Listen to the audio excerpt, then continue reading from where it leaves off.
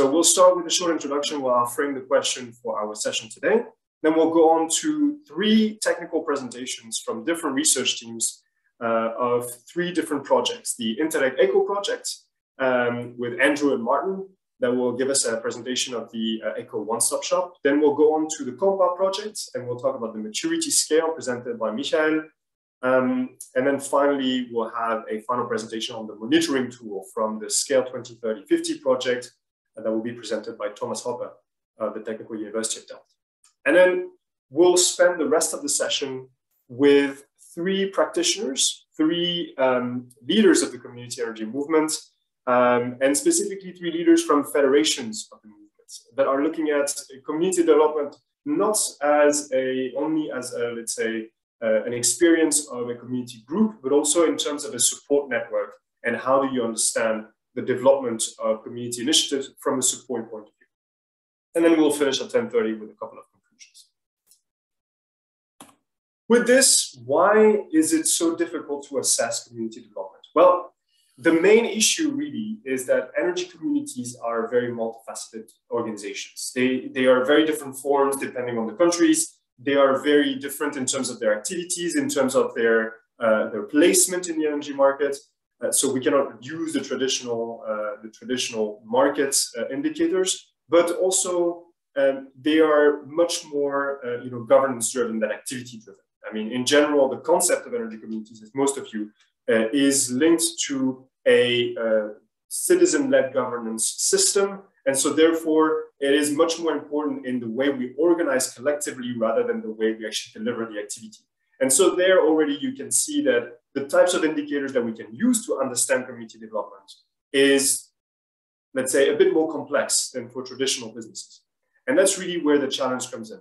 On one hand, the diversity of initiatives. On the second hand, the aspect of the variety of activities and the variety of roles that uh, energy communities are playing in the market today. And so therefore, really the common areas or the commonalities of energy communities is really this governance-driven approach. The aspect of understanding or uh, formalizing the uh, participation of private citizens into the, um, the energy market. The third problem is this large informal phase. Can you please mute your mic when you come into the session? Thank you.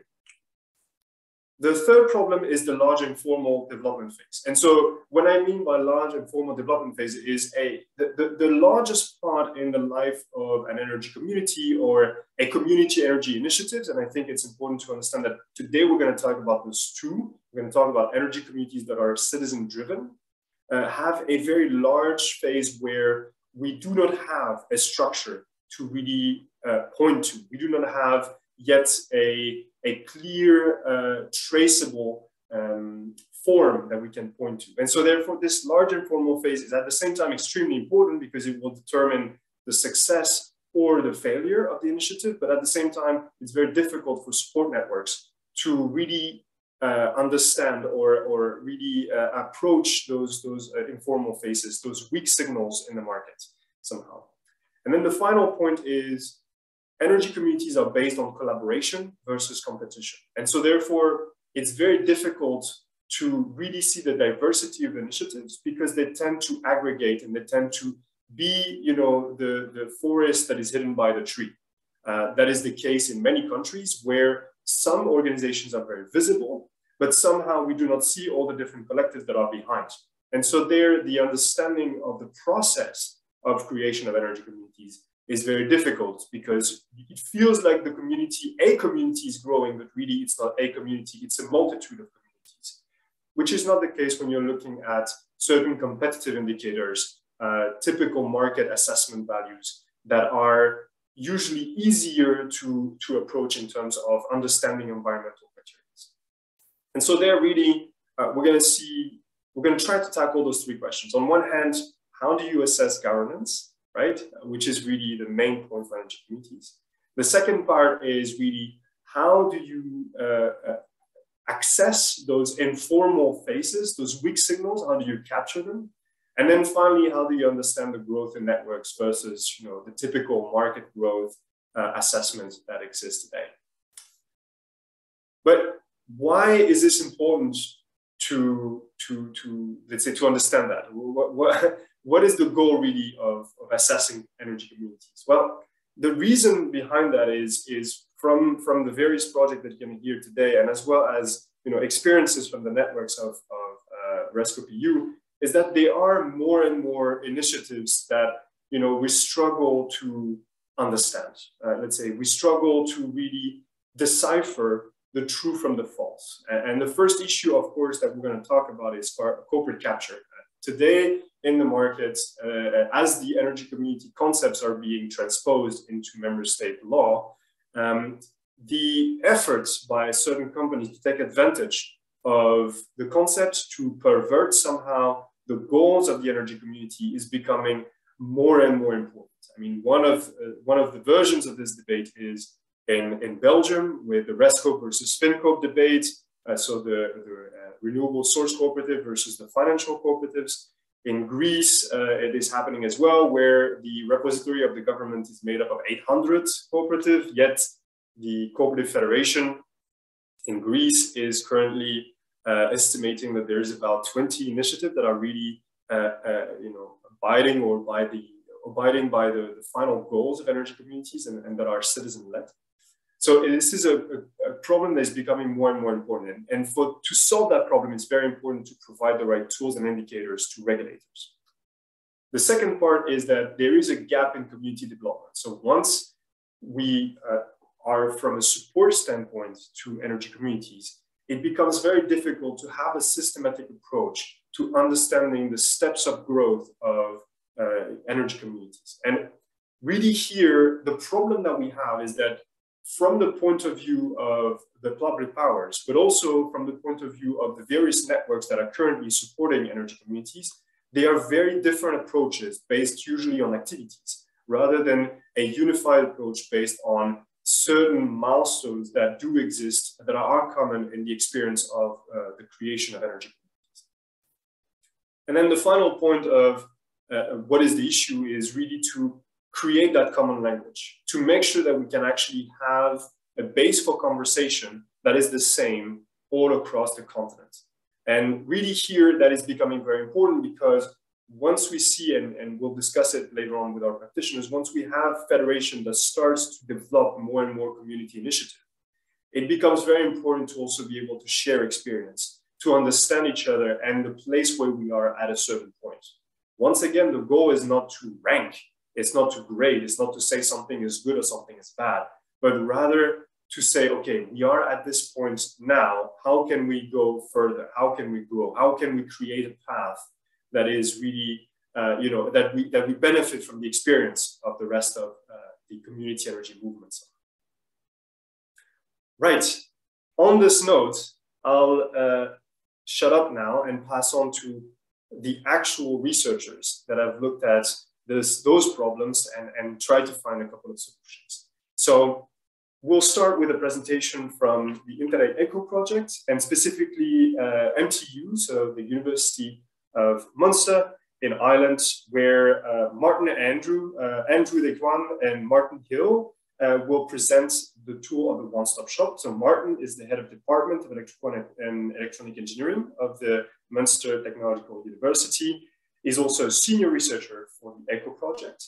Um, while Andrew is a senior researcher for the same institute and has worked on many projects in the IoT spaces. Together, they have brought forward the ECHO one-stop shop that is a uh, tool that was built to support the development of ECHOs, uh, which are energy communities, uh, part of the Interreg ECHO project. And with this, uh, Martin, Andrew, it's up to you.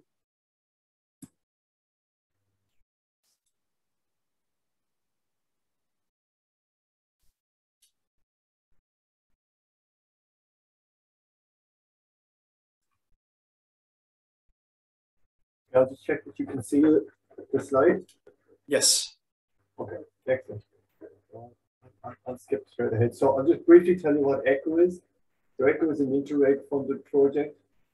Um, it should have run from 2017 to 2020. We then got a capitalization, which moved it on, and then COVID has actually meant we will finish in 22. Uh, there are 11 partners representing uh, regional authorities, support groups, and uh, local energy uh, cooperatives uh, across six countries. So actually, this is this is the challenge we're we're we're we're trying to deal with, which is that at the transnational level, both EU and the uh, climate uh, agreements, there are targets. So for, for Ireland, for example, our target is uh, zero emission, zero by 2050.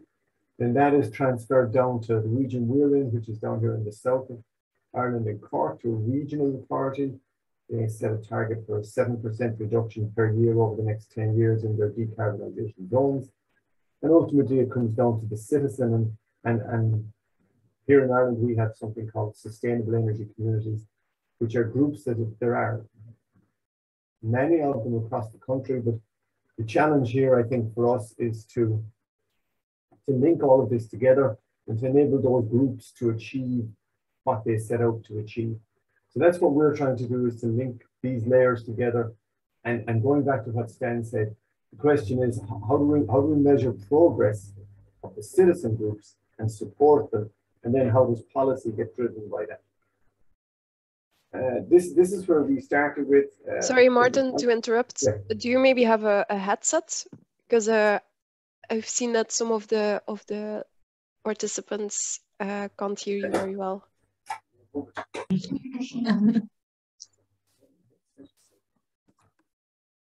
Oh, try this headset, sometimes it works.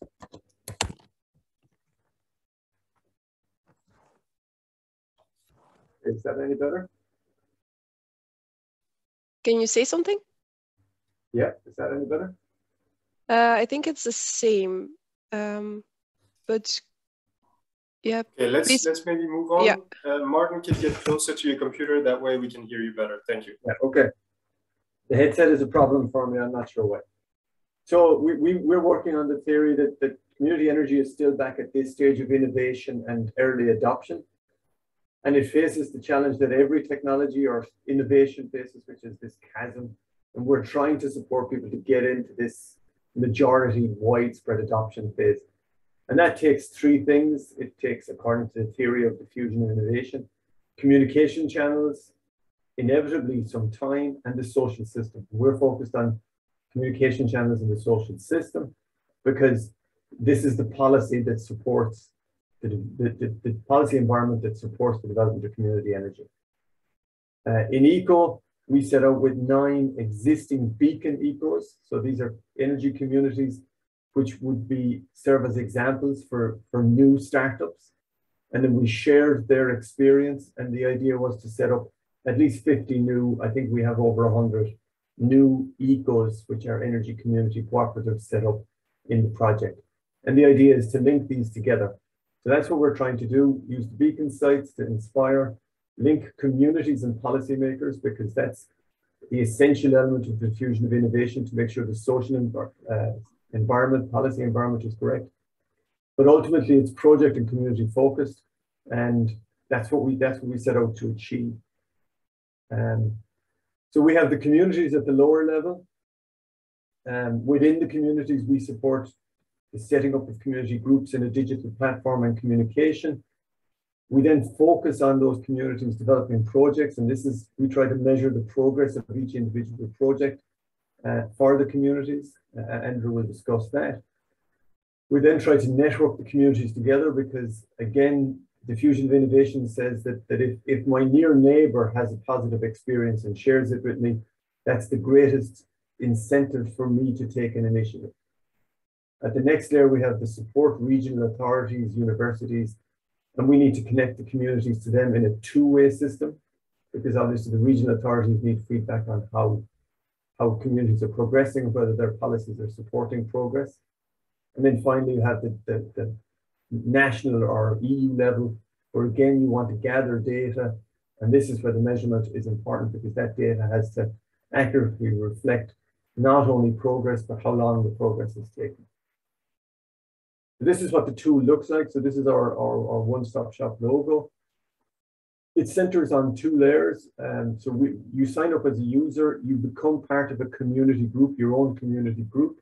And that community group works on projects. The projects are then um, shared within the group and also publicly on this uh, public showcase um, window. And in the tool, we have, uh, in the one-stop shop, we have a progress tool. And that's a survey that attempts to take each project and map it onto a timeline which was developed by our French partner, EPV, uh, and it, it progresses from awareness through development through completion.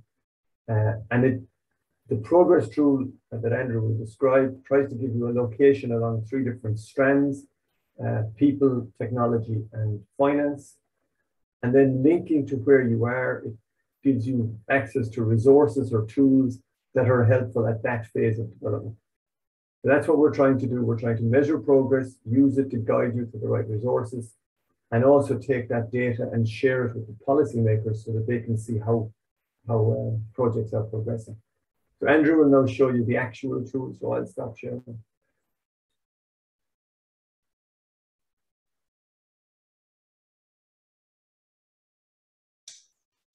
Hi everyone, I hope you can see my screen. Um, just Martin uh, described there, this is an online platform, a digital platform that the One Stop Shop is, and anybody can register. Uh, it's a community, uh, community social platform where once you're a user, you can create a project, an energy project, and you'll be then met with a survey to describe.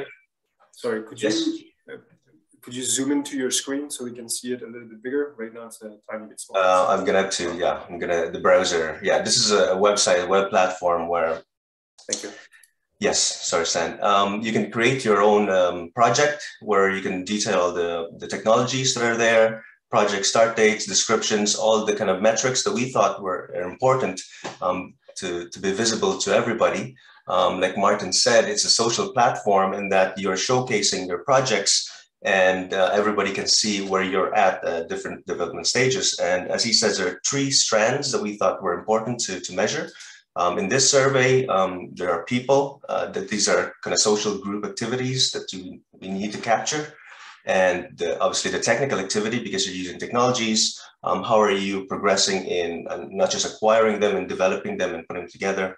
And obviously the financial uh, element as well, where you obviously need funding. I, I don't think communities will have um, rich funds. And so this is where the support layers come in and to, to pump some funds into um, these projects. But uh, the, the, important thing to, to note with this is that this is a localized uh, survey. This is specific uh, to, to Ireland, um, and thus the, the, the, questions are more uh, closer to, to the mechanisms that are in place in, in our context. Um, but uh, as Stan highlighted, the, the challenges is to how do you translate this so that it's universally understood and that everybody in not just EU, hopefully, but globally understands the, the challenges to, to achieve this. And so this is just a platform to, to kickstart your project.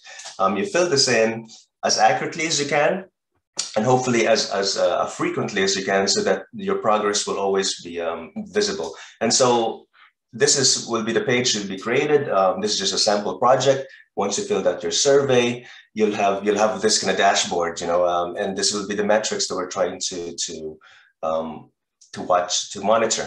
And so the three strands are there: people, technology, and finance. And this is the, the graphic or the roadmap, the visual uh, representation of where you're at from start to finish.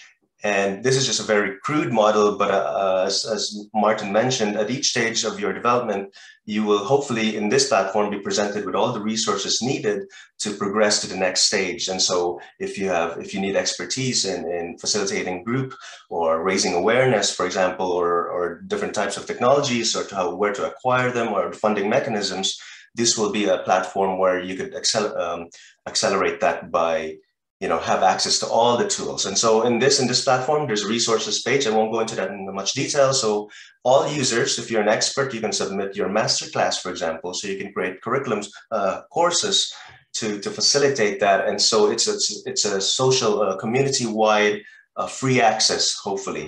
Um, but the important uh, element of this as well is as you're submitting all the different inputs, um, the important uh, signals that need to be um, seen is by the support layer is all the, the statistics, the, the metrics that are here. So for instance, if I'm at this stage of this project, which is, you know, according to this overall index, 18.7%, and I'm, I'm let's say progressed uh, in my, you know, I, I ticked one box. Yes, I've, I've hosted public meetings and you tick that one and, you know, all the other things that are, are your, hopefully you're progressing um, the project. The support layers, for example, um, we have one here, we, it's called SEAI, the, the Sustainable Energy Authority of Ireland.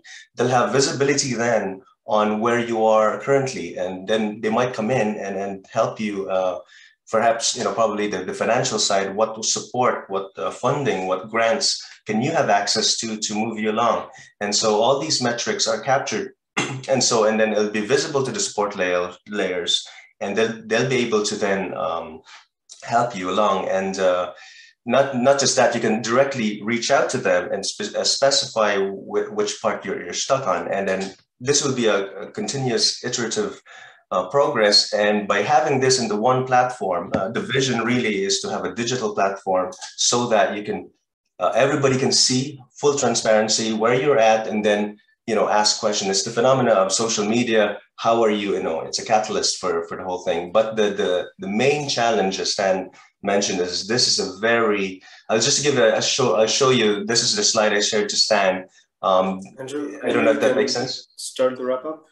Yes, yes.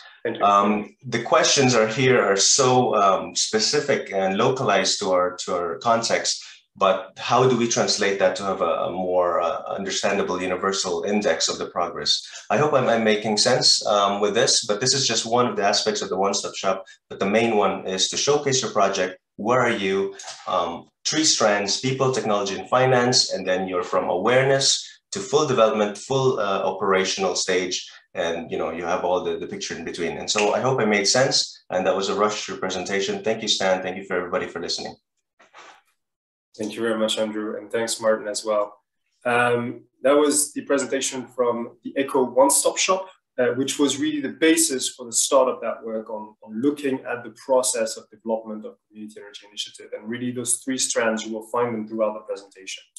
Uh, Andrew already kind of spoiled the surprise, but then we're going to go to the next tool, which is the maturity scale from the Compa project. Uh, and there, uh, Michael Brenner-Fleischer from Joanneum Research uh, is going to present that tool. So Michael is from Austria, uh, and he worked on various national and international energy and climate related projects. His area of research revolves around the identification and measurement of social, organizational, and psychological factors that either support or hamper people from adopting climate friendly lifestyles. Uh, as well as collective actions. And that is exactly what we're looking for today, understanding concretely how those initiatives develop. So, Michel, up to you. So, good morning to everyone from Austria, from the beautiful city of Graz. I'm going to share my screen. I hope you already can see it. Yes.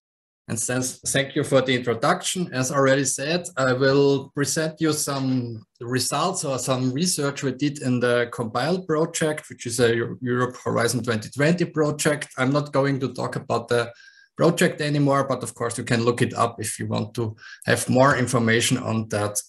What I'm going to present you will uh, somehow now sound familiar to you because uh, you just have heard some familiar things from, from Martin and from Andrew, which is good, of course, because we have similar objectives. So if, if, if our approaches would have been completely different, obviously some of us would have been wrong, but this is not the case. Uh, anyways, uh, the idea or the background is uh, that obviously there is a need by energy communities to have some tools or guidance on better to understand their development and their strengths and shortcomings of their energy community. Yeah, to really understand, okay, how can we further develop uh, and and become bigger, become more major. Yeah, and this was the idea of the maturity framework to try to come up with a framework to uh, assess specific, specifically this question and to understand the level of development.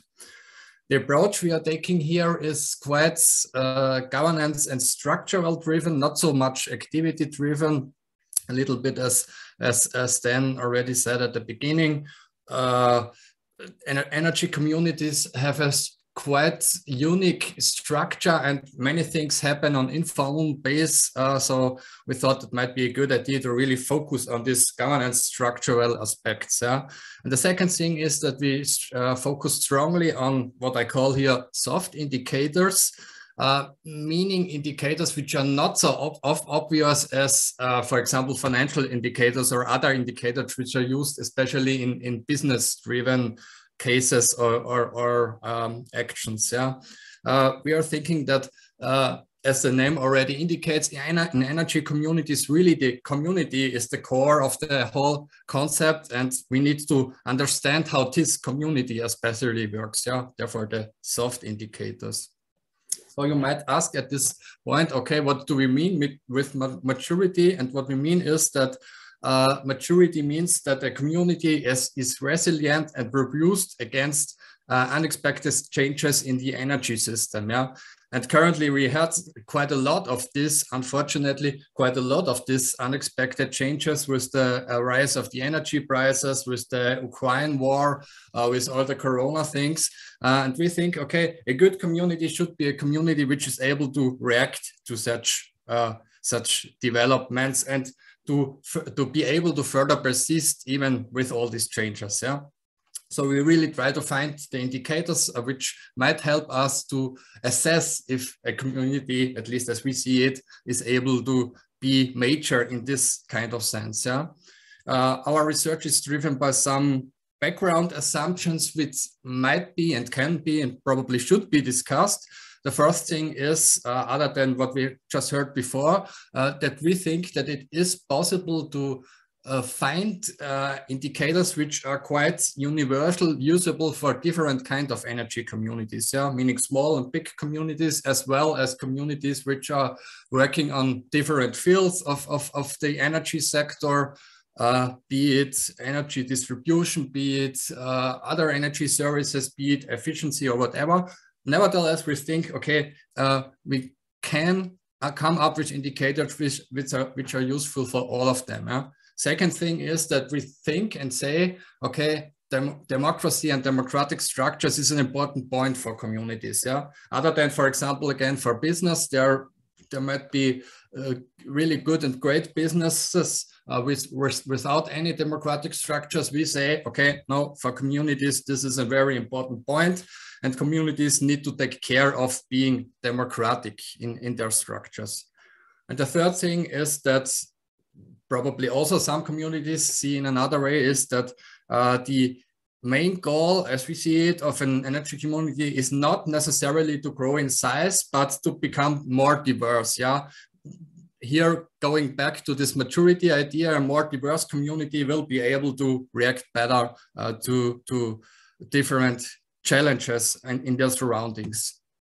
And with that, with that background, and we had a lot of discussions here, we started a literature analysis, first of all, seeing, okay, what's did other research reveal as, as potential important factors for energy communities? And we found around 46 indicators at the moment.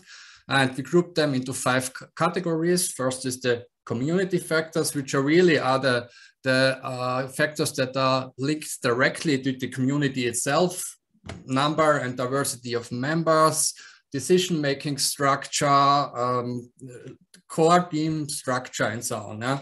Second uh, category is the staff and the organizational factors, uh, which is uh, dedicated to the question on how good the community is able to to uh, get external expertise yeah? For example with legal questions or financial questions is there any staff uh, they can use to to help them to support them with these kind of questions?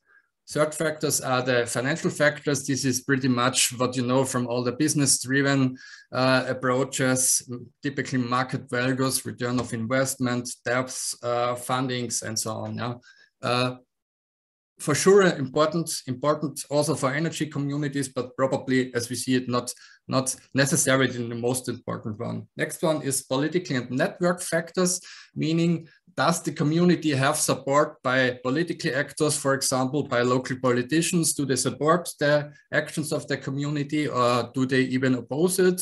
Uh, and other other networks, for example, as REScoop, who might uh, uh, help communities develop.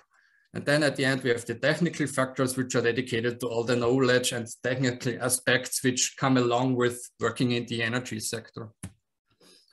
Uh, and we differentiate these uh, indicators into two different types. First are the so-called threshold indicators, and we see them as, as the important tipping points of a community. Yeah? Meaning if, if a community reaches such a tipping point, it will become more mature. It will change to an, it will progress to another stage in, uh, in the maturity of its, its being. Uh, such uh, threshold indicators might be, for example, there are rules for selecting uh, leaders. Before, probably the community was a bunch of friends, friends doing some uh, work together, but if the community grows, in sometimes they, they will need to develop a system to really select their leaders. And if they do that, we say, okay, they are in another more major stage of their uh, community. And then the second kind. One more minute. Oh, okay.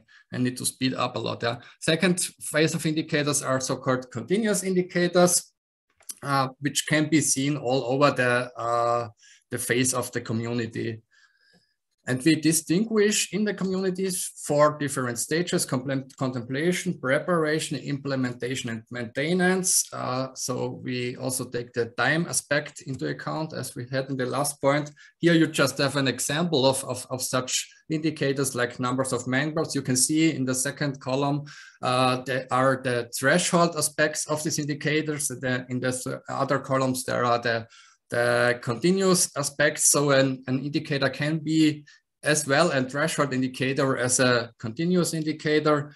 Uh, yeah, and we uh, rules on, on how good they are assessed uh, for all our indicators. As I said, we had a list of 46 uh, indicators, and at the moment we are testing them in the Compile projects, uh, and we do it in this way that we uh, really talk to energy communities leaders and members and uh, ask them for all the indicators we have. Okay, what do you think about them? Do you think they are useful? And if so, in what phase of your uh, energy community do you think they are useful? Uh, and with that, we hope to get a better picture uh, of the really important indicators. Yeah.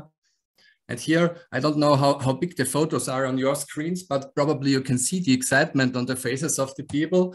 And uh, if you if you want such, such uh, to do such a workshop with your community, you are really invited to join us or, or to contact me or contact Stan, and we can make such a workshop workshop also in your uh, with your energy communities. Yeah. Uh, first some preliminary findings and I really cut it short because it's preliminary. Uh, obviously, there are some indicators which are not very useful for uh, the energy communities. Good to know. Might be because they have difficulties to understand them. Then we need to uh, formulate them better or they are really of irrelevance. Yeah, and you see here some things we uh, identified as, as uh, irrelevant by, by the energy communities. Uh, and to come to an end, so to sum it up, we really try to come to develop with the maturity framework some kind of a dashboard which allows energy community to self-assess where they are with their uh, energy community and to see uh, what are their strengths and weaknesses and also allowing with that comparison between more major and less major energy communities. And really, we try to develop here uh, a tool which might help all the, the practical energy communities to develop. Yeah, and if you have more questions about that, feel free uh, to contact me or contact Stan, who also was was uh, important part here. Uh, and with that, I'm at the end, and thank you for your time. Thanks.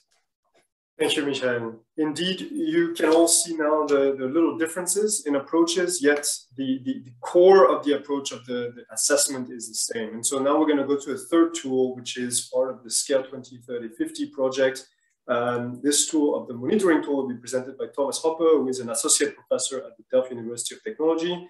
His research lines about governance of energy transition, focusing mostly on low carbon cities and regions, and particularly on energy communities. Um, Thomas is going to present the monitoring tool, which is, let's say, the latest addition in the family of assessment tools. And of course, that built on the experience of the two first ones. So Thomas, uh, up to you. Please try to keep it uh, at 10 minutes. Thank you.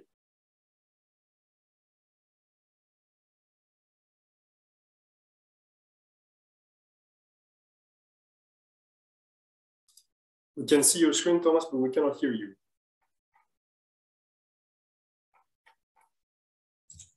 Now you can hear me probably. Apologies. Yes. Okay, let's start with little time to go. So what I'm going to present is uh, the, the, the, monitoring tool and also the literature study that which we performed before we developed the monitoring tool. Um, yeah, so let's start with the literature. So first we did a thorough literature review on both academic and grey literature to learn about the maturity and uh, development and scaling of community energy collectives. Um, and we first started at the basis. So uh, first to learn about the wider context, also to learn about how many definitions are basically used for in, uh, collective energy uh, uh, communities and renewable energy communities as they are coined by the European Union. Currently, there's even an article around that, that says that there are 187 definitions used uh, for this organization. So we tried to map this. Then we also uh, met uh, historical developments and also focused on today's practice. And uh, next to looking at empirical literature and history, we also looked to usual theoretical frameworks and uh, using an STS and transition management approach. We basically focused on strategic niche management and uh, transformative social innovation because, of course, community energy can be seen as a predominant form of social innovation in energy transitions. Uh, um, then uh, we also did a literature review on preconditions for collective actions that uh, renewable energy cooperatives uh, and communities can uh, engage in at the neighborhood level. Uh, so also the, the, projects they can be involved in. And these projects are, of course, key in their maturing.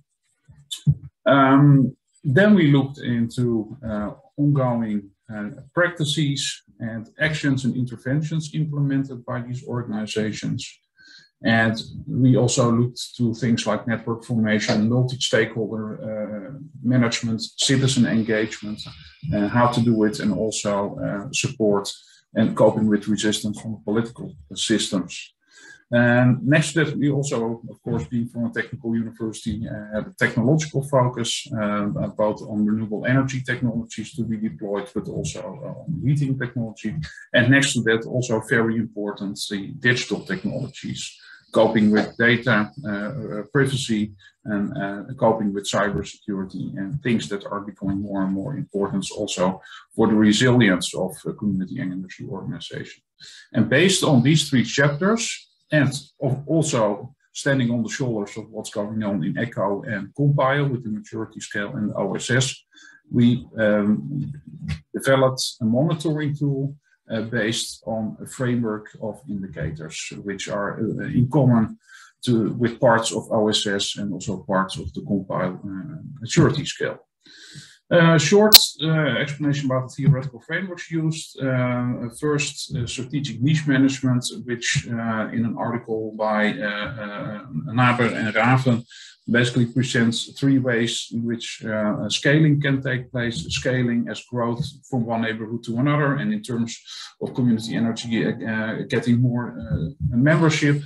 Uh, then replication from one uh, geographical entity to another, let's say from, from, from Belgium with equal power to, to, to Poland, where there was less community energy action. Um, but also in terms of what was also mentioned in the previous presentations, in terms of networking, uh, developing intermediary organizations with their libraries, one-stop shops, uh, basically offering support and empowering uh, a local experimentation of community energy and also helping them with translocal networks. So um, uh, via EU network, for instance, uh, learning and bringing tools from the Netherlands to Germany or vice versa or to, to Greece. And, and, networks are quite important there. That's also from the academic literature. Another framework used um, and that, that's more uh, recently developed is transformative social innovation, um, where renewable energy communities are seen to have transformative capacity with the aim to change institutions and the social technical system of energy markets in the end, with a key role of local experimentation, translocal networks, and the role of intermediaries. Um, but next to that, a lot of other variables are also important. I don't have time to go in that uh, right now, but it is important uh, in our thought and the way we develop the monitoring tool. Uh, of course, next to these theoretical frameworks, we also uh, try to stand on the shoulders of giants, in, the, in this uh, case, this, um, uh, the OSS and the maturity scale. Um, looking to uh, the, the, literature review, uh, we basically came up with the four, we copied more or less the, the, four stages presented in the maturity scale and some of the indicators mentioned that. But uh, as we did the literature study, uh, we also uh, inserted uh, many new indicators or KPIs, which we also consider important. And we, but we did classify them according to what also was done in the maturity scale. So both social looking to the local community, looking to staff and organization of the renewable energy community, financial indicators, political indicators, technical indicators, and also finally learning and scaling. Because the SCCALE project is of course scaling community energy practice, so we definitely also want to take this into account. Um, so we made this table and then we presented all the indicators we found and we checked them at the project partner meeting in September 2021 with an interactive session uh, with the project partners, which led us to develop even more uh, project indicators. One of the issues of special importance is technical complexity. There are individual technologies and collective forms with DH systems. Uh, I'm not going into this one, but in very important is uh, the monitoring tool. Uh, currently, it's developed. Right now, it's still in Excel form, um, uh, and, and, you can fill in for each uh, stage that you're in uh, different items, different questions. And based on that, um, an automatic assessment takes place, which also provides results in the dashboard, but also presents a to-do list for all items that are present. And uh, actions are also formulated on what to do on, to increase performance on certain items. Besides that, we also have links included to the OSS, uh, to, on, to tools, guidelines, etc., on how to uh, improve. This is more or less how it looks like. Um, and currently, uh, we are uh, in progress. To say, let's say, first draft of the tool has been delivered, and right now we're in the stage of monitoring this year and next year via expert review, workshops with, within SCCALE, but also by reflection on five uh, pilot projects uh, within SCCALE. Um, and that's what we will be doing. So the tool is not, not yet available, uh, but next year it will be. And that's about it.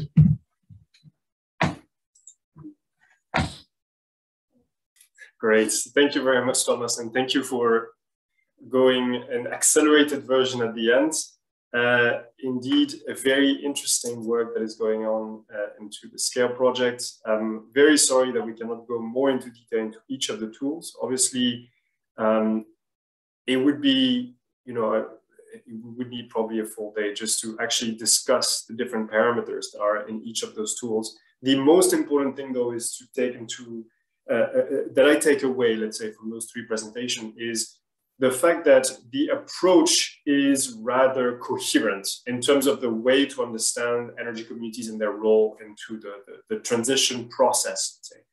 both in terms of you know the niche initiative, yet the niche initiative meaning you know the, the, the opportunity for scaling and taking you know pushing it to a, a kind of a mainstream approach in terms of the community development, but yet as well also in terms of the different factors that are really constituting the experience of community energy.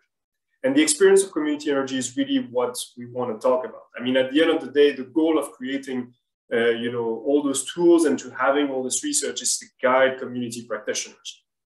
One of the efforts that I'd like to point out from all the research teams today is the effort that they made to go and be in contact with practitioners from the get-go to leverage their experience. And so we will have, uh, we, we now move on, sorry, to the, the, the, next stage of our session, which is uh, the community energy practitioners and how they can, uh, you know, what is the experience, let's say, of building onto the, uh, the, the work that has been done on the research. And here we have three uh, leaders of the community energy movement. Siward Zomer from Energie Samen. Siward is the corporate director of Energie Samen and is a board member of REScoop EU. Uh, he's uh, responsible for creating new services as part of Energie Samen, and he was also um, the chairman of the Windvogel uh, cooperative for seven years in the Netherlands. We then will have also Marion Richard from Energie Partagée. Marion is the head of national coordination for Energie Partagée, uh, who is the French Federation of Energy Cooperatives. And she joined the Federation in 2018, and um, she grew the Federation to up to 300 members uh, by today. And finally, from Croatia, Mislav Kirac from ZES. Mislav is the, one of the co-founders of the Green Energy Cooperative ZES, where he works as a program coordinator. He gathered extensive experience in the energy transition and community development as part of the NDP, UNDP program, where he co coordinated several international programs. So I'll ask the, uh, the panelists to maybe turn on their camera briefly so we can see and hear more about you. And I can stop sharing because at the end of the day, the goal is really to have a conversation here uh, for, for the speakers. Um, so the, the most important thing before we start maybe is to, to, to, as we want this panel to be more of a conversation, is to a bit get to know each other. So we have prepared a couple of polls so we can all know who is in the room today. Uh, and the first thing to know is where are you coming from? So uh, we'll launch the poll now and I'll ask you to answer it before we start the panel. And in the meantime, I'll introduce a little bit what we're going to talk about with our speakers today. So I'll launch the poll. So the, the goal of the panel today is to learn from the experience of community energy practitioners and specifically uh, what the three federations in different countries have done to support the development of community energy. Uh, the interesting thing here is that there are three very different approaches to community development. Uh, Mislav in, in Croatia has been specifically supporting, or in Croatia has been specifically supporting the entire region, uh, including the Balkans, Serbia, Serbia, Bosnia, Bulgaria, and to the development of a community energy movement of their own, as well as developing community energy initiative in Croatia. And so that international experience is quite unique considering the two other federations that we have that are very nationally driven.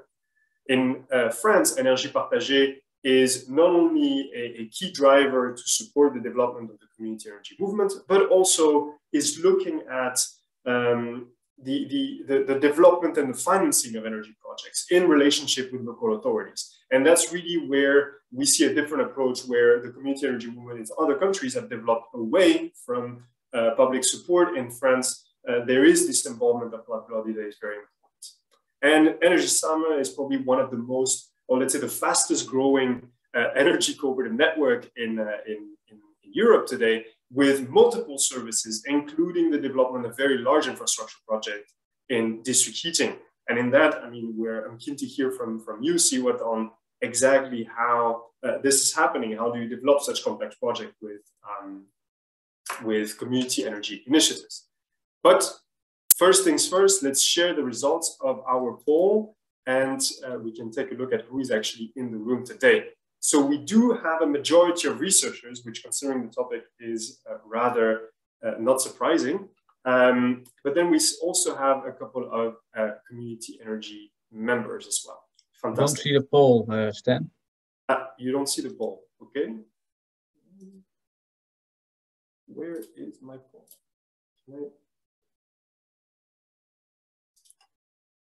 Uh, good question. How do I share the results of the poll? Um, Helene, could you help me out? I don't. I can't access the poll as a host. I'm sorry. No problem. Okay. Can I share at least? So if I share my screen, you guys don't see the results of the poll. No. Okay. Never mind.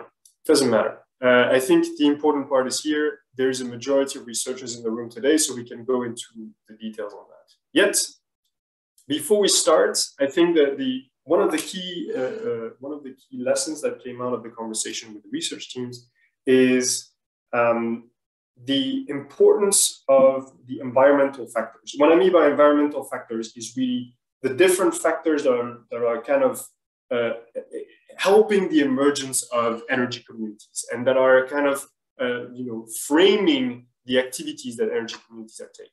And so there, I'm curious to hear from from uh, from everybody around what exactly is the most important thing that you think uh, is, is a key factor in terms of the development of energy communities. So I'll launch a second poll, and here we can talk about, you know, what is the most important piece of the development of a, of a strong community energy movement? Is it the regulatory framework? Is it the economic conditions themselves, positive or negative?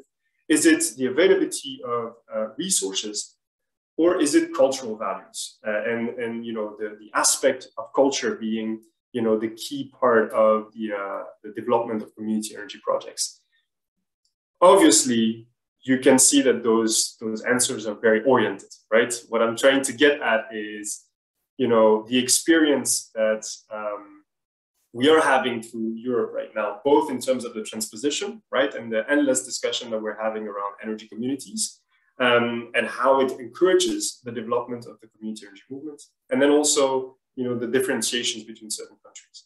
One thing maybe to point out before we start the debate is that the community energy movement was existing before the definitions of energy communities, before the clean energy package.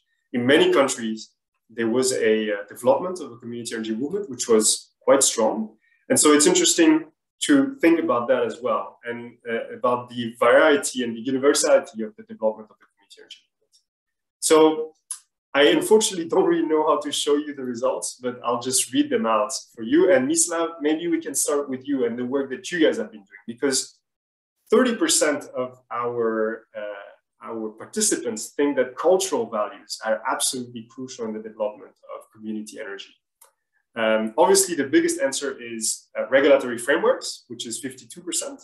And then the third one is economic conditions, 19% cultural values. Mislav, you guys have been supporting the development of movements in a wide variety of countries, not, not only in Croatia, but also in, in neighboring countries. How do you how do you see that? Is it difficult for you? Is it something that uh, you know you, that you go against uh, day after day? The cultural values, the cultural aspects.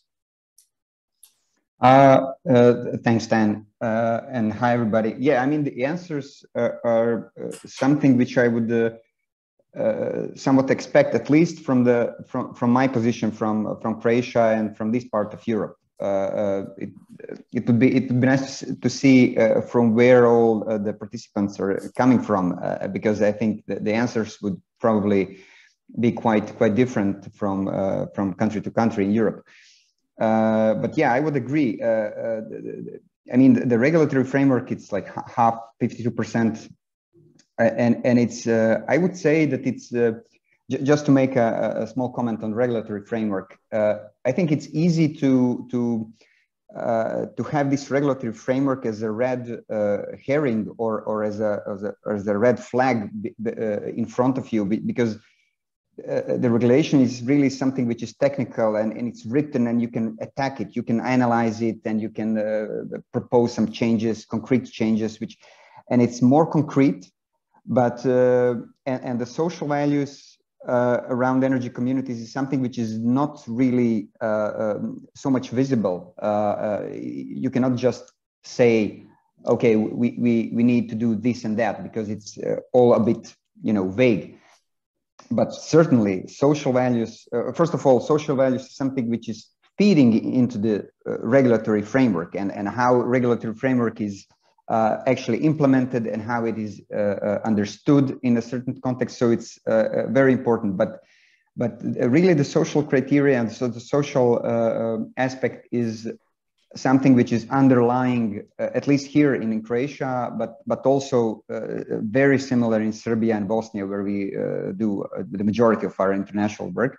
And uh, so I would say that, that, that it is something which you encounter on a daily basis. And um, so, so uh, whether you're talking to the municipal leaders, uh, mayors, and, and municipal, municipality leaders, or do you talk with the representatives of the regulators, ministries, policy makers, decision makers, uh, DSOs, TSOs, you know, all, all the ecos ecosystem of uh, needed to to uh, to enable uh, the, the, environment for energy communities to thrive you you see this uh, uh, lack of understanding and lack of uh, experience in this in this kind of uh, movements.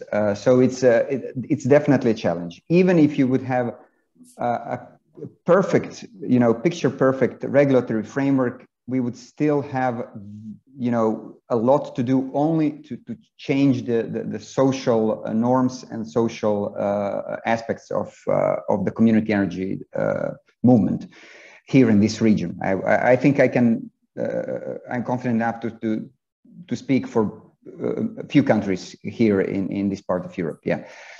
So, and of course, yeah, I'm, I'm, sorry. Yeah, say if you have a. No, no, go ahead, go ahead, go ahead.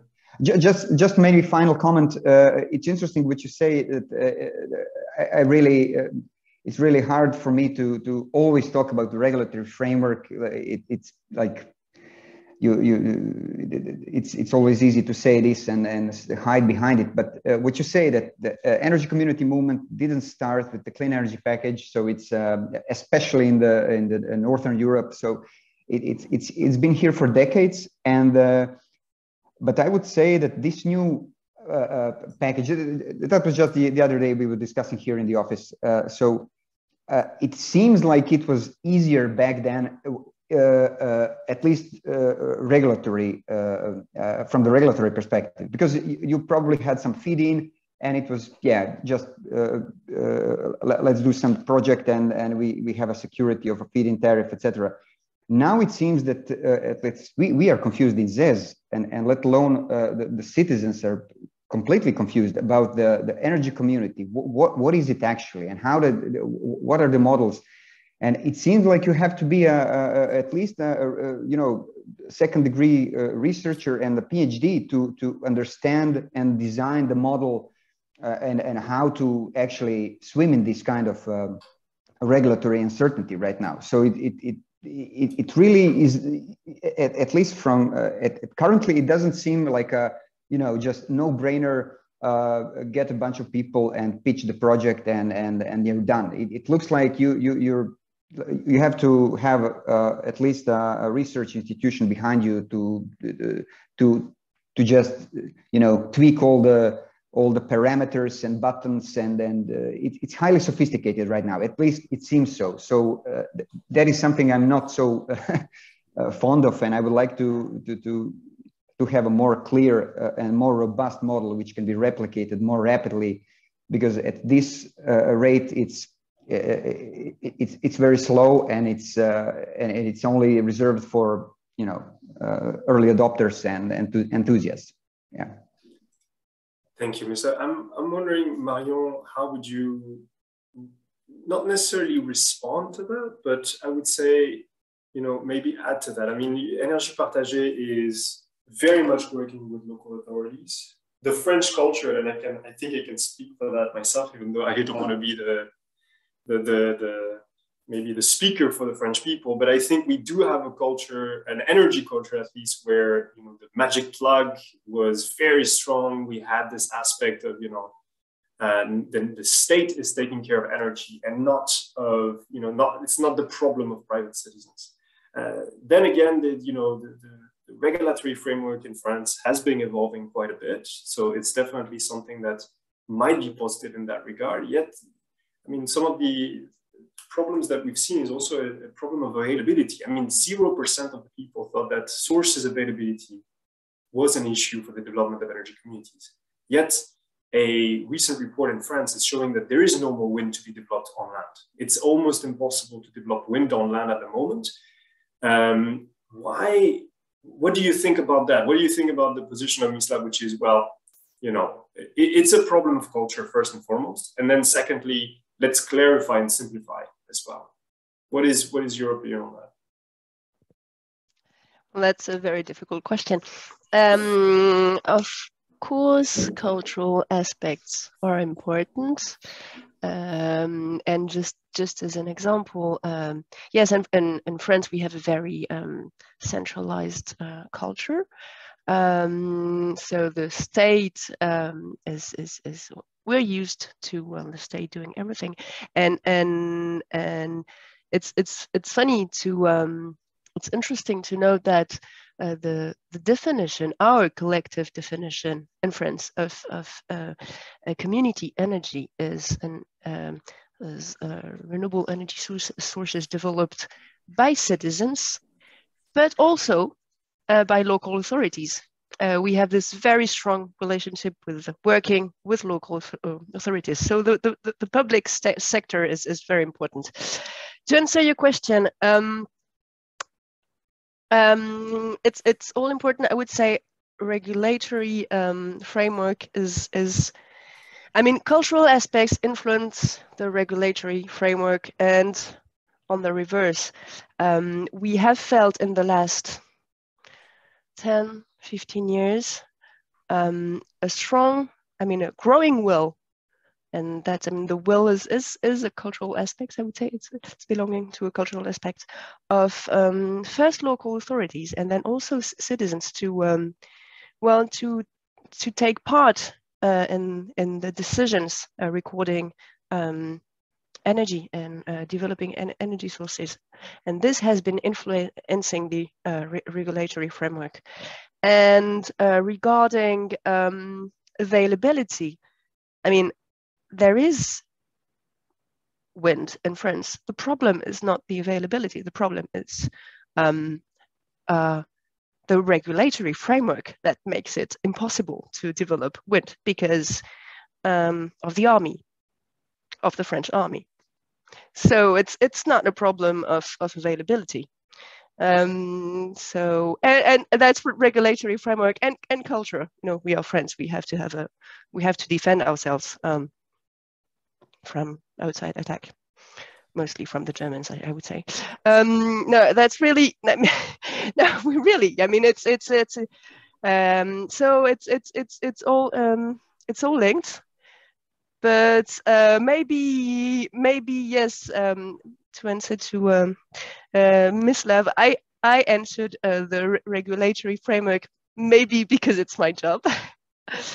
but uh, yes, you can you can change, you can influence uh, cultural aspects also by changing the law and and in reverse. That's that's what I would answer.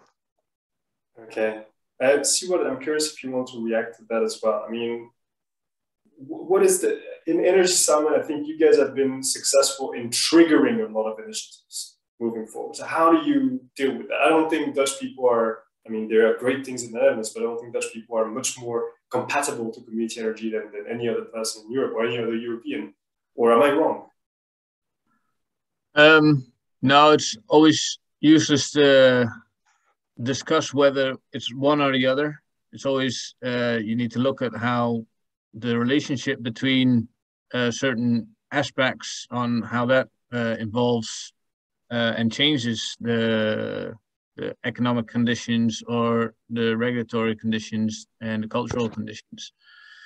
Um, what we see as Energie Samen, like we're a national federation, um, but we're working very hard to get regional um, cooperatives of energy cooperatives in that region uh, to support the local uh, energy communities. It's because we have a decentralized uh, uh planning law which where local communities decides to give permits. So uh, the energy transition is very decentralized by us. Eh? All the permits go on a local level. To get a permit, or either to even go into the legal process to get a permit, you need to have democratic votes from the community. So, and that legal framework strengthens our position because um, now we can say in local policies and say we're happy to start a legal procedure to give a permit unless you involve the community. So we have an on a national level uh, uh, uh, a non-binding community energy target which lands down on local level in uh, planning planning procedures which makes it uh, binding to a certain extent so um, it's the way the netherlands is structured you get also a cultural division. Um, we have from history a lot of cooperatives, also for the same reason. Um, and we have decentralized and de democratized our water systems, also for the same reason. So Um, and if you, like in France, centralize everything, you get a different structure of how you support energy communities, which is fine. And that is the most beautiful thing and the strength of energy communities is they are they have the freedom to organize themselves to the local context. So that's the strength of working uh, with us and to get this multi-level um, what the the um, structure what the all, basically all research is presented um, if you want to do something from Europe and help local communities, it's impossible to get a one-stop shop on a European level uh, for uh, not a one-stop shop, but a one-stop um, uh, uh framework that fits every national uh, thing. So you need this this polycentric governance system throughout Europe that fits the local context at, at, in any country. And then um, yeah that's why why we, we we fit so well in every in every structure in every country. And we can reach to the the front door of citizens um, with any any projects that we can do. Um, if you centralize anything in Europe that doesn't work. So we have for the last couple of years in the Netherlands but also in Europe of course we've built up a massive valuable uh, framework, a network of citizens and groups of citizens that can be used to trickle down all these policies, innovation budgets, all, to the local level. Because if you do that in Brussels, we won't know anything that that had happened or not. Fantastic. Well, I, I do agree with that. That it's the, the aspect of decentralization. I mean, and, and this at the same time relevance of the concept at the European level, while at the same time being adaptable to the local level is, is tremendously important. Yet that adaptability, or let's say this, this uh, you know, multi-format, multifaceted aspect kind of brings up the question, which is that we see also more and more fake quote unquote energy communities appearing uh, all across Europe as the, the, the, concept is deploying. I think Mislav, you touched on it with the, the you know the technical aspects. Sometimes the, the legal framework is so difficult that it actually benefits certain specialists rather than citizen collective. So I'll open the, the, the third question, which is how do you recognize a community energy initiative? What, what is a, the key for the key uh, point that is characterizing a community energy initiative? Um, and there, I'm curious to hear from you, Marion, because I think Énergie Partagée has built a tool for that, right? A label that is decisively pointing out to what is true community energy versus what is not. Uh, the answers right now are, are coming in. Um, and I mean, for me, there are four things that kind of like come out of the discussion of the European. On one hand, there's the governance model, right, for uh, community energy. The second one is the ownership model. Granted, the two might be a bit linked the activities, and finally the participants. So uh, what would be for you the, the important point, let's say? Asking me now, or are you asking the uh, all participants? No, you, you, you, go ahead. okay. Um, it's um, for Énergie Partagée, it's, it's, it's, it's um, also it's governance and ownership, but it's also other aspects um, that he did not point. um, it's uh, uh, I'll, I'll start with because um, there is no uh, legal definition in France of uh, community energy, and uh, the definition of community and energy is the one we created, uh, we collectively, Énergie Partagée, as a as a network. So, um, and that was more than 10 years ago, we, uh, we created a, a charter. And if you wanted to get support by Énergie Partagée, either uh, financial support or communication or um, technical support, uh, you had to respect the, uh, this charter.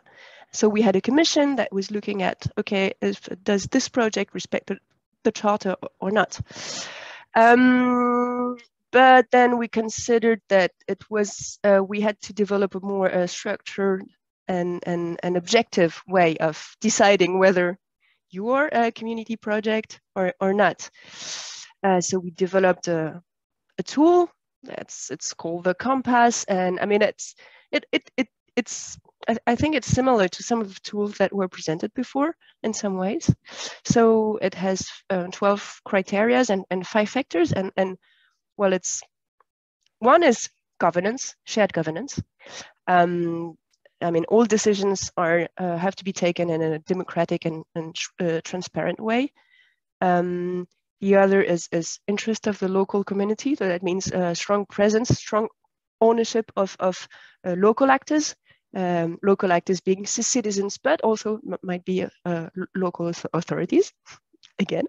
um, there's the local dynamic, meaning um, uh, using local competences, local enterprises, uh, mobilizing local actors. Ecology, that's also a strong uh, important thing.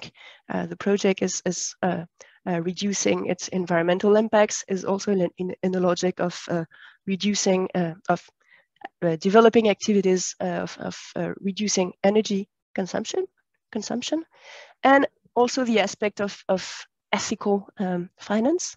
It's about mobilizing uh, citizen savings, uh, local authorities investment capacities. So maybe you can also link that to um, ownership. Um, um, so and I'm, my answer to interrupt, but I'm curious to, to, to talk about that point specifically around ownership and governance. So you put the ownership on maybe, local may, euros. May, may, maybe I don't really know what you mean by ownership. Um, so I'm going to check. So the ownership yeah, like yeah. the capital, the actual yeah, money, yeah, the ownership, right? Versus the governance could be like the actual votes, the members, the people that can decide the outcome. Yeah. And so I'm curious too, because in, in the explanation that you're making right now, there is differentiation as well, which I do agree with, by the way. But I'm curious to hear between, usually in most of the models, and, and I mean, I'm curious to hear from the other speakers in the panel as well, the ownership and the governance are intrinsically linked, right? If you own something, you control it. And so there is a notion of you need to have citizen control through the financial aspect. But what I hear from you is that this is not necessarily the case in France. Uh, the local authority could bring most of the funds, yet the democratic uh, aspect or the democratic model could allow everybody to have the same weight. Is that a fair understanding or that's not the case? Uh, it depends. Any, uh, in any case, you need to have citizens uh, in the project in order That's to be considered uh, a community energy project. Um, you need to have citizens uh, and but uh, and there are some actually i don't know the exact numbers but um, you need to have uh, a certain percentage of, of citizens uh, ownership in the pro um, in the in the pro in the project also. Uh, but uh, so there are some criterias on citizen and local authorities um, governance and on ownership, and then some specific criterias on local citizens ownership. So we have both. Um, we, oh. Yeah. In the Netherlands, we have a, a special uh, support scheme for energy communities. It's called um, subsidy for the production of community energy. Um, it's it's like a feed-in premium for only for energy cooperatives. Uh, we will have a different definition in uh, the new energy law, but here the main we we discussed it for two years with the ministries, and we could think of any form of um, misabuse or uh, how you could um, uh, pretend that you were or not. And we ended up with a massive regulatory framework, which would be such a threshold for the actual ones to, to jump over. And then we skipped all that and we said, we just put in one rule. It needs to be one member, one vote. And that's the rule that basically some uh, companies try, but then they realize that if they put all the money and they want all the profit, then somebody else can decide that they don't get it and then they stop doing it. So the one member, one vote for me seems to be very um, good check whether it's not uh, if it's an actual energy community or it's just two local entrepreneurs pretending to be uh, one. So um, and I think it works. We see a couple of things where you go like, all right, it's not really one member, one vote, but uh, on the base on 700 projects and you see two or three, I think it, it works very well. We uh, here we don't we don't always have one member one vote. We but uh, we uh, and not all uh, projects are cooperatives per se because actually the uh, the framework for cooperatives in, in France are very strict, um, very very strict according what uh, yeah. So, but what is very important is because um, I don't know if it's the case in, in, in other countries, but in France, like bigger projects um, are mostly done with um, citizens, uh, may, maybe local authorities, and also a private operator, because we are not strong enough. There are some projects, but very few that that that manage to to do it with citizens alone or, or only citizens and, and local authorities. But usually we don't. We're um, local cooperatives um, uh, don't manage to to do it uh, alone. So we, we, we need private uh, operators. But then what's really important is the transparency. Like people need to uh, be aware of the economic model. Uh, decisions uh, need to be transparent and they need to understand. So if, especially if there is a private operator, he needs to say, okay, what, what is my economic model? where do I make my money? Because he will make the money. And that's that's also very important for us, so that non-professional are, um, are at the same level and can understand. Okay, uh, can yeah can make also decisions and and and understand yeah what is the interest of the private operator. So that's also very important for for for us. I'm, and, Sorry, I interrupted yeah. you again. Apologies.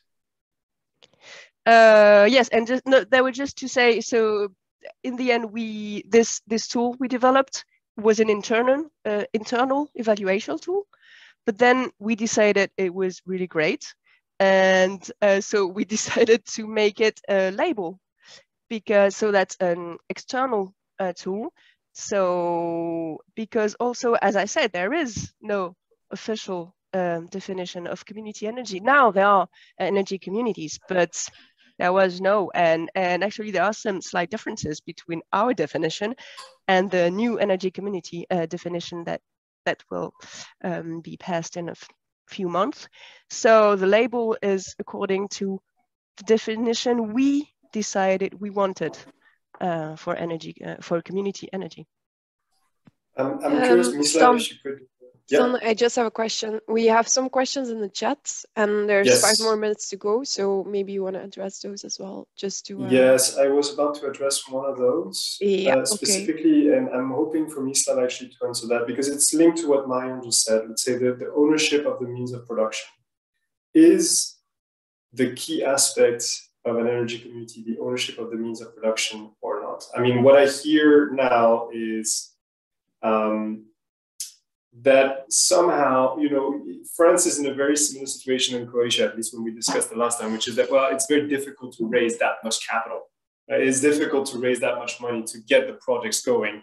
And so, but we'd rather be part of it and to let the ownership be with an external actor or through a model that is transparent enough, but yet we are part of it and we can at least invest, you know, a piece or let's say control a piece. What is your opinion on that? Because I mean, it, it is a difficult debate, right? It's a, it's a, it's a negotiation uh, that you have to do with yourself as a movement. Yeah, I, I would say that, uh, uh, like, if I would have to decide on, on this on, on the spot, I would I would probably take it, you know, because at least from this perspective right now, where we are in in a like so much headwind is here, uh, despite the, the, the uh, regulatory framework, which in theory are uh, like uh, sh should give us a tailwind and, and support and everything. But but to make a case, just to make first few cases where citizens are uh, actually participating in a way um, as an as a co-owners, that would be that would be great. Uh, I think that, that because what you're saying, magic plug uh, and, and, it's also here, of course, like centralized production, and and people are only now starting to, you know, uh, uh, barely trying uh, see that that not just that the state does not produce power, but it's liberalized market, but also that they can produce their own power for their themselves and for other neighbors, etc. So it's a I, I would say I would take it uh, uh, and uh, and I think that that those are at least from Croatian context it, it would be like a very nuanced uh, discussion whether it's uh, like uh, whether it's ideal energy community or not. But yeah i would i would strive to do like 100% community owned projects. But um, if city of zagreb offered offered us you know you know engage 200 people and uh, and be uh, this is the 20% of the project which you will own uh, as, as a cooperative we would we would say yeah of course we, we want to kickstart uh, you know these things here. We would otherwise uh, who knows when when we will have this uh, ideal project completed. Okay. Um, uh, for us, we have a basic principle. Like when we advise our members, of course, they can choose to just financially invest. And if they're in no position to negotiate, then it could be a nice money stream that they can get to develop further. But if you actually want an energy community that supports its uh, and develops its energy system on a local level, a lot further than just pure production. Uh, we're talking about mobility, uh, energy savings, uh, and you start to think in uh, in the system, then you need to have ownership of the money streams and the energy streams, and that means you need to own the assets. It's as simple as that. Uh, nobody else can will give you all. If you don't invest in it and you don't own it, then you don't own the money streams and you don't own. It. So when you think further than just pure financial investment, then you need to own it and of course, you can work together with private companies. Eh? Here, most energy communities work together with a private developer who owns 50% of the park and the community owns the other 50, but they're often uh, split up in separate entities where they both um, have their own um, PPA or uh, um, power purchase agreement. So they both control the energy stream. The one guy wants to sell it for the highest price. The other one wants to sell it to the community. So th that's how we, we split it up. And yeah, we even Dutch regulation made that possible where you can have two suppliers on one um, connection to the grid. So it's just uh, technologically um, administrated. So um, and I, I, that's what we always invest uh, in um, uh, advice because I saw a, uh, a question about people to people, and that's what we think we're going to, especially now with the highest energy prices. People aren't going to build wind turbines anymore because there are some abstract CO2 goals in Paris or in The Hague. They are going to build wind turbines to supply their own energy on a local level. So if some again for cost price, so they're going to calculate what the the wind turbines cost, what the solar panel cost, what the system cost, and that's the price what they're going to deliver to their members. Because now with the high energy prices, you don't they don't want to be dependent on the on the uh, the market anymore. They want to create their own local market. So then, yeah, it's very logical. Then you need to own um, the assets, and then for that's why I I, I um, talked about like I filled in ownership in the in the poll. Fantastic. Well, it's uh, 11.29. I see more questions coming in specifically around solidarity. Uh, I also see the comment of Marion as well on the, the, veto. That could be a very interesting discussion to have down the line on, you know, the power of a veto versus the power of conversation or, or governance or, you know, what is exactly, you know, um, control in that sense and is veto control, yes or no? Uh, but I think we will have to close the session at the moment. Um, what is left for me to do is to thank you very, very much for being with us today, uh, Marion, Mislav, Siward, and of course the researchers as well. to thank the participants for you know holding the conversation with us and, and listening in. And uh, of course, you'll get all the materials and the content as well as the contacts for our speakers today. So if you want to continue the conversation on those aspects, uh, I'm sure that they will be very happy to answer any of your questions. Thank you all very much. And uh, we'll see you later on this afternoon for the next session of uh, Energy Communities Empowering Our Future conference. Thank you. Bye-bye. Goodbye, everyone. Bye, everybody. Thank you. Bye, everybody. Thank Bye, you. everybody. Thanks for everything.